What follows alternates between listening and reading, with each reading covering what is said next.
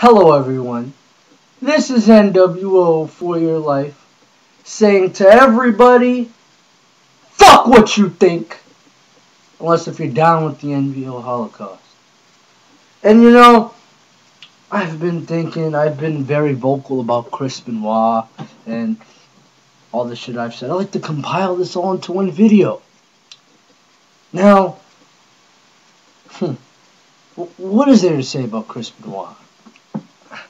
He's a great wrestler, a great family man. I mean, Chris Jericho has to be one of the all-time greats. It's a shame he's not even in the Hall of Fame. And you know, a lot of people like to say that Chris is a murderer and he's did that. But think about it. Nancy's a fucking slut. She had it coming anyway.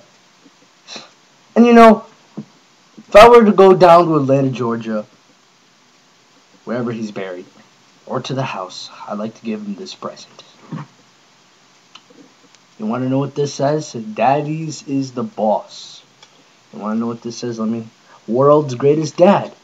I mean, that is what Crispin is, right? you know, I that was a funny thing. I just realized something. You know would be a perfect match? Casey Anthony and Chris Benoit. Those are some of the greatest parents I've ever seen. I, I agree with what they're doing. It, it's it's great. Um, and that's all I have to say about Chris Benoit. Uh, peace, motherfuckers.